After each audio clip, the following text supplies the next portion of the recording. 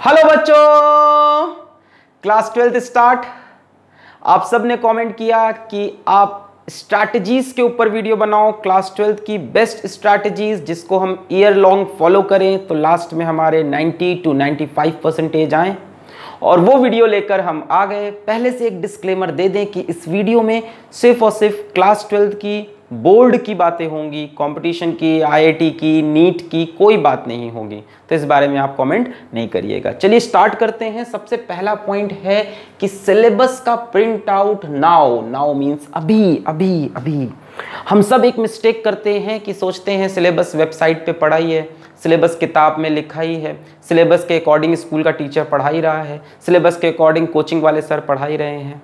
और यहीं पे हम लोग एक बड़ी मिस्टेक कर जाते हैं क्योंकि आज के वीडियो की मेरी एक लाइन है डोंट डिपेंड ऑन एनी हम लोग भी यही सब मिस्टेक करते थे। होता क्या था कि जो टीचर पढ़ा रहा है, वही पढ़ रहे हैं, या हमको लग रहा है कि हमारा ये टॉपिक पूरा कंप्लीट हो गया, इसके ऊपर हमने 200 सवाल भी लगा डाले, बड़े खुश बैठे थे। प्री बोर्ड आया, पता चला ये चार टॉपिक पढ़ा ही नहीं। इस चैप्टर का ये चार टॉपिक पढ़ा ही नहीं। और दोस्त ने उठा के सिलेबस दिखाया, देखो सिलेबस में था। गलती क्या करते हैं कि शुरू से सिलेबस साथ में नहीं रखते हैं। सिलेबस का प्रिंट आउट हाथ में रखिए। जब भी एक चैप्टर कंप्लीट करिए तो सिलेबस के अंदर अंडरलाइन करिए, ये हो गया, ये हो गया, ये हो गया, अरे, ये पॉइंट छूट गया। ये मेरे टीचर ने पढ़ाया नहीं। होता है कई बार। कई बार होता है कोचिंग का टीचर कोई चीज़ स्किप कर दिया स्कूल का टीचर स्किप कर दिया, कई टीचर कोई भी कर सकता है। Don't depend on anyone syllabus हाथ में रखो, ऐसे अंडरलाइन करते हुए, चलो हाँ ये हो गया हाँ ये हो गया हाँ ये हो गया हाँ ये हो गया। हम अपने एक्सपीरियंस से बता रहे हैं कि बोर्ड का जो पेपर होता है, वो सिलेबस से पॉइंट टू पॉइंट उठा के बनाया जाता है। सिलेबस से पॉइंट टू पॉइंट सिलेबस से लिखी हुई लाइन जो हेडिंग होती है ना, वो उठा के क्वेश्चन में आती है। कई बार हम लोग हेडिंग भी छोड़ देते हैं कि ये चीज़ पढ़ ही नहीं। तो सिलेबस का प्रिंट आउट रखो अंडरलाइन करते हुए चलो, बहुत मज़ा आएगा। बहुत मज़ा आएगा फील आएगा कि हाँ ये चैप्टर कंप्लीट हो गया, पूरा अंडरलाइन हो गया। अच्छा एक और तरीका इस चीज़ को करने का, वो है कि एन e की टेक्स्ट बुक फॉलो करो। है ना? ठीक है रेफरेंस बुक आपको फॉलो करनी कॉम्पिटिशन के लिए, आपकी मर्ज़ी। वीडियो में बता रहा हूँ अभी बोर्ड के लिए। तो एन e की टेक्स्ट बुक शुरुआत से फॉलो करो, एकदम टॉपिक वाइज इसमें क्या है कि सिलेबस अपने आप पूरा कवर हो जाएगा, कोई पॉइंट छूटेगा नहीं। कई बच्चे यहाँ सी बोर्ड के नहीं है तो आपके बोर्ड की जो भी मेन स्ट्रीम किताब है, उसको यूज़ करो। साथ में सिलेबस अंडरलाइन करो, वो सबसे बेस्ट है। ठीक है रेफरेंस बुक आपकी मर्ज़ी। नेक्स्ट बात है कि monthly weekly daily goals goal setting goal setting is very important throughout the year goal setting आप शुरू करते हो अक्टूबर में जाके, बहुत लेट हो जाता है, अभी से। अपने सिलेबस का ब्रेकअप करो। सिलेबस बहुत बड़ा है। उसको छोटे छोटे छोटे पार्ट में तोड़ो, यही तो फिजिक्स हमें सिखाती है। कोई बड़ा सा क्वेश्चन आता है, हम क्या करते हैं? क्या करते हैं? उसको छोटे छोटे कंसेप्ट में तोड़ते हैं, फिर छोटे छोटे पार्ट्स को सॉल्व करके फाइनल आंसर निकालते हैं। तो अपने सिलेबस को ब्रेक करो। मंथ्स में तोड़ो वीक्स में तोड़ो, रोज तोड़ो। डेली गोल्स बनाओ। आज रात को पेन से अपने डायरी में, एक पेज में लिख के सो कि कल ये कंप्लीट करना है। अब क्या होता है ना मंथली गोल्स भी अच्छे होते हैं बट साथ में डेली गोल्स होना इंपॉर्टेंट है। पूछो क्यों? अब मान लो मंथली गोल बनाया कि एक महीने में ये करेंगे, होता क्या है? शुरू के एक हफ़्ते कुछ किया ही नहीं। चलो अगले हफ़्ते कर लेंगे। अगले हफ़्ते नहीं किया, इसके अगले हफ़्ते कर लेंगे। इसमें टालने का चांस ज़्यादा होता है। इसमें भी टालने का चांस होता है कि मंडे ट्यूसडे नहीं पढ़ा, अब बचे हुए पाँच दिन पढ़ लेंगे। यहाँ टालने का चांस नहीं है डेली गोल्स में। यहाँ टालने का चांस सबसे कम होता है। एक चीज़ तुम समझ लो, तुम्हारे पास यहाँ से टेन मंथ्स हैं। अप्रैल, मई, जून, जुलाई, अगस्त सितंबर, अक्टूबर, नवंबर, दिसंबर, जैन। मैं जैन को भी गिन रहा हूँ। प्री बोर्ड आ जाते हैं। टेन मंथ्स दिख रहे हैं यहाँ से मुझे। और हर महीने में तीस दिन का हिसाब लगा लो तो तीन सौ दिन है। मज़ा आया। मेरा टीचर था क्लास टेंथ का, गौरव गोयल सर। वो ये चीज़ रोज करवाते थे हम लोग को, कि आज एक दिन कम हो गया, आज दो दिन कम हो गया। तो हम नहीं कह रहे कि रोज करो बट इस चीज़ को दिमाग में एक बार रखो तो कि तीन सौ दिन है। तुमको लग रहा है एक साल एक साल नहीं, तीन सौ दिन है, और कब ये डेढ़ सौ दिन में बदल जाएगा, पता नहीं चलेगा। हर बार जब तीन दिन वेस्ट हुए ना, एक परसेंट गया। डिवाइड कर लो तीन से, सौ आ रहा है ना, सौ परसेंटेज तीन दिन गए, एक परसेंट गया। ऐसे समझो। तो आप सोच रहे हो ना, अगले महीने से पढ़ेंगे, तीस दिन चले गए, दस परसेंट चला गया। इस चीज़ को फील करो सिलेबस को ब्रेक करो, अपने गोल्स बनाओ, अपनी डायरी में लिखो। जैसे मान लो किसी आपके सब्जेक्ट में बीस चैप्टर हैं तो आप उसको ब्रेक करो कि दो दो चैप्टर पर मंथ करने हैं। Don't depend on anyone coaching में जैसे चल रहा है, वैसे नहीं। अपना अपना टारगेट बनाना है।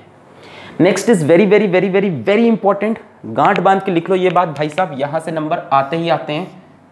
ठीक है? Teaching experience previous year paper, board के प्रीवियस ईयर पेपर, खरीद लो, चैप्टर वाइज खरीद लो और शुरुआत में खरीद लो। बच्चे पहुँचते हैं ये खरीदने नवंबर में। एक चैप्टर आपने पढ़ा, फिजिक्स हो, केमिस्ट्री हो, मैथ्स हो, एक चैप्टर आपने पढ़ा, कंप्लीट हो गया। अब उसके प्रीवियस ईयर में जितने भी सवाल आए हैं, सब लगा डालो। और वो तभी लगा पाओगे जब चैप्टर वाइज वाली किताब होगी।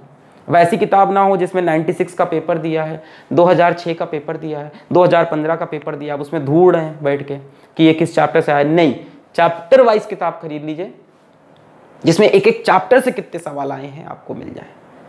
अब उसी चैप्टर की जैसे मान लो आपने इलेक्ट्रिक चार्जेस एंड फ़ील्ड के आपने सौ, डेढ़ सौ सवाल लगा लिए और आपने बोर्ड के प्रीवियस ईयर के सवाल नहीं लगाए, क्या फ़ायदा? कब लगा रहे हैं? बैठ के दिसंबर में लगा रहे हैं।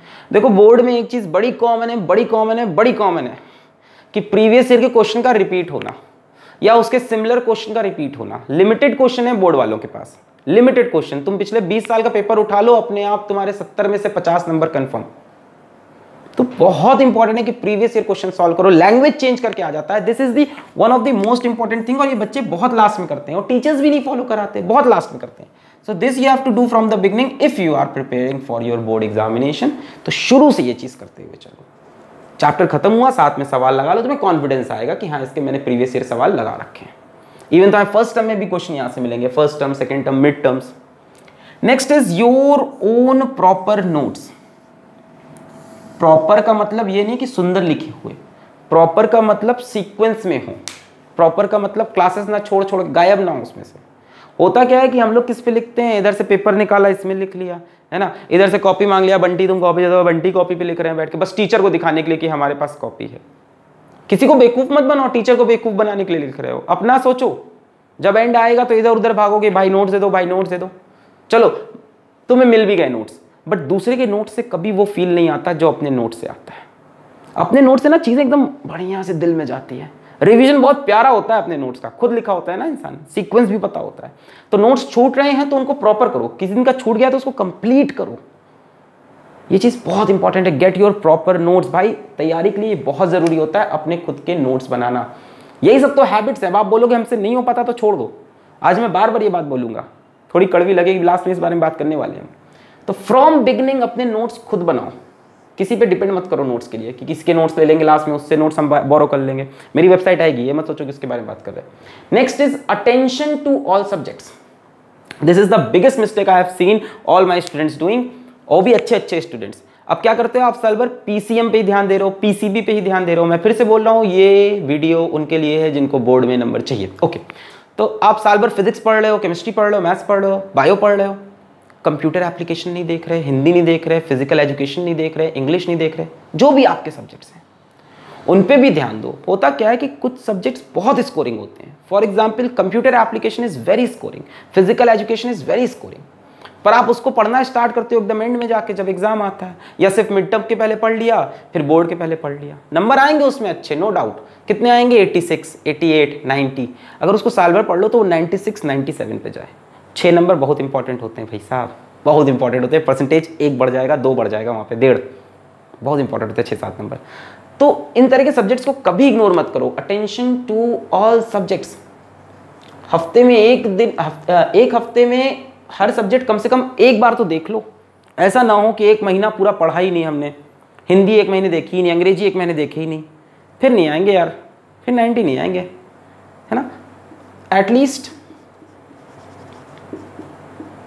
once a week week में एक दिन तो सारे सब्जेक्ट्स हो जाने चाहिए। ना एक एक दिन, कभी ना कभी तो उसको छू लो। स्कोरिंग होते हैं यार, क्यों छोड़ रहे हो? उसमें कम पढ़ाई में ज़्यादा नंबर मिल रहे हैं। थोड़ा सा उस पर ध्यान देना है, ठीक है? अब उसमें मज़ा क्यों नहीं आता? कहोगे, सर, उसमें मज़ा नहीं आता। क्योंकि आप उसको छोड़ रहे हो लास्ट में पढ़ोगे तो मज़ा कैसे आएगा? इंटरेस्ट तभी आएगा जब उसको आप रेगुलर पकड़ोगे। तो स्कोरिंग सब्जेक्ट को मत छोड़ो। परसेंट इसमें नंबर दस बढ़ाओगे, उधर परसेंटेज दो बढ़ेंगे। और इसमें दस बढ़ाना आसान होता है। आगे आते हैं। Regular revision which is very very very very very important regular revision एक चैप्टर पढ़ा, उसके 200 सवाल किए, और बोर्ड में उसका जब पहुँचे तो उसका सवाल नहीं हुआ, क्योंकि लास्ट में रिवाइज नहीं कर पाए। रेगुलर रिवीजन आपका वीक में एक दिन होना चाहिए, जिस दिन आप किसी की बात नहीं सुनोगे, सिर्फ़ और सिर्फ़ रिवाइज करोगे हफ़्ते में जितनी चीज़ पढ़ी उसको। एक दिन होना चाहिए, सैटरडे हो, संडे हो, फ्राइडे हो, कुछ भी हो। एक दिन आप सिर्फ़ उन चीज़ों को रिवाइज करो जो इस हफ़्ते आपने पढ़ी।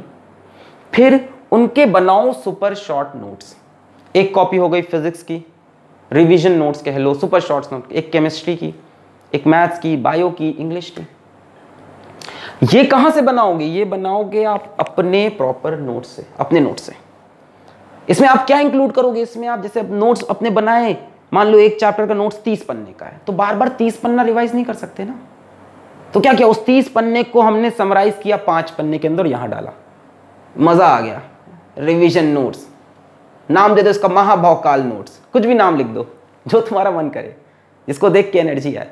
अब इसको रिवाइज करना और आसान हो गया। नेक्स्ट टाइम रिवाइज पे खटखट खट देखा और इसको खुद से बनाया तो मज़ा आएगा। ये सब चीज़ें कहीं ढूंढो मत इंटरनेट पे, ये खुद से करो। हाथ चलाना पड़ेगा भाई साहब, खुद से करना पड़ेगा। बहुत इंपॉर्टेंट है। इसमें प्रीवियस ईयर के क्वेश्चंस डाल दो। प्रीवियस ईयर में देख रहे हो एक ही चीज़ बार बार आ रही है, उठा के वो पॉइंट लिख लो कि ये तो बार बार आ रहा है। ये आपका लास्ट एकदम फाइनल टच होना चाहिए। ये अभी से प्रिपेयर करो, ये प्रिपेयर आप अक्टूबर में करते हो। ये आपका तैयार रहे सारा, आपका जो ना जितना भी एमिनेशन है स्टेन गन जितना भी आपका बम वम है, सब लेके चलो गोला बारूद। लास्ट में जाके बस मारना है, दुड़ी, उड़ा देना है लास्ट में। तो अभी से तैयारी करनी पड़ेगी। तो वीक में एक दिन पक्का जितना वीक में पढ़ा है, उतना रिवाइज करो अच्छे से। इसको मत स्किप करना, मैं बता रहा हूँ, इसको आप स्किप कर दोगे। होगा ये कि आपने शुरू में चैप्टर्स बहुत अच्छे से पढ़े थे और लास्ट में उनको आप रिवाइज ही नहीं कर पाए। धीमे धीमे धीमे सब दिमाग से निकल जाएगा बच्चों। एक्सपीरियंस से बता रहे हैं, सब निकल जाएगा। Last thing is distraction but before coming to this let us discuss कि मैंने आज आपसे क्या बोला। इसके बारे में बात करते हैं। मैंने आपसे बोला कि आपके पास सिलेबस का प्रिंट आउट होना चाहिए, आपको आज घर से निकलना पड़ेगा प्रिंट आउट लेने जाना पड़ेगा। घर में प्रिंटर है तो घर में प्रिंट करेंगे, कल सुबह लेंगे, परसों लेंगे, करना पड़ेगा आपको। एनसीआरटी की टेक्स्ट बुक आपके पास होगी ही होगी। आपको डेली गोल सेट करना होगा। रोज आपको रात में लिखना होगा, ये मेरा गोल है। अगले दिन उसे कंप्लीट करना होगा। ना कंप्लीट होने पे आपको रोना होगा। आपको दुख होना होगा। उसे गिव अप नहीं करना। अभी समझाते हैं। प्रीवियस ईयर के पेपर आपको खरीद के लाने पड़ेंगे। आलस में आप नहीं बैठेंगे कि इसको हम अक्टूबर में खरीदेंगे नवंबर में खरीदेंगे। अभी नहीं अभी नहीं। लास्ट में किया जाएगा। नहीं। फ्रॉम बिगनिंग जो करना है आज कर, कल का कोई भरोसा नहीं। अपने नोट्स बनाना स्टार्ट करेंगे शुरू से और इस पर ध्यान देंगे, जहाँ छूटेगा, खुद को डांटेंगे और फिर सही करेंगे। अटेंशन टू ऑल सब्जेक्ट्स ऐसा नहीं है कि इधर उधर के सब्जेक्ट को छोड़ दिया, सिर्फ़ पीसीएम पे ध्यान दिया। रिवाइज करेंगे, हफ़्ते में एक दिन प्रॉपर रिवीजन करेंगे और ये वाले नोट्स ज़रूर बनाएँगे। अब बात करते हैं डिस्ट्रैक्शन की, कि सर हम ये सब नहीं कर पाएँगे।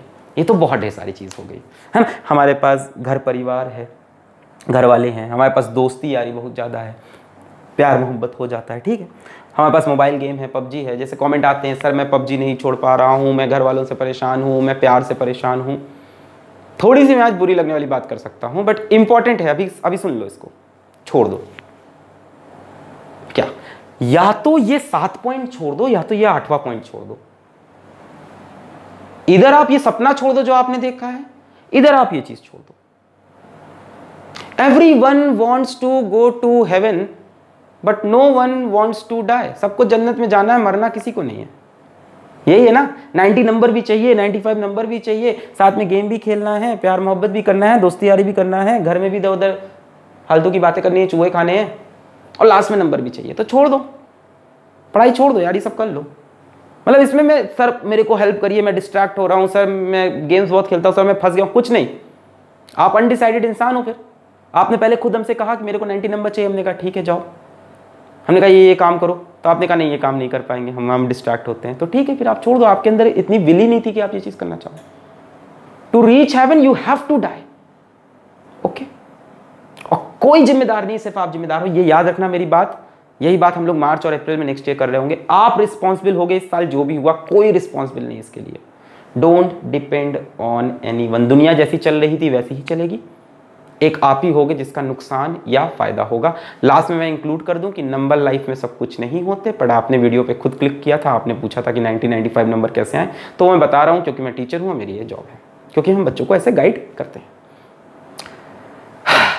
थोड़ा सा हार्श हुआ लास्ट में बट वही सच्चाई थी। हमेशा प्यारी प्यारी बातें करना सही नहीं है, आपको सच्चाई बताना भी मेरी रिस्पॉन्सिबिलिटी है। You all are like my small brothers बच्चे हो प्यारे तो ज़रूरी है आपको सच्चाई बताना। तो पढ़ाई करते रहें ऑल द वेरी बेस्ट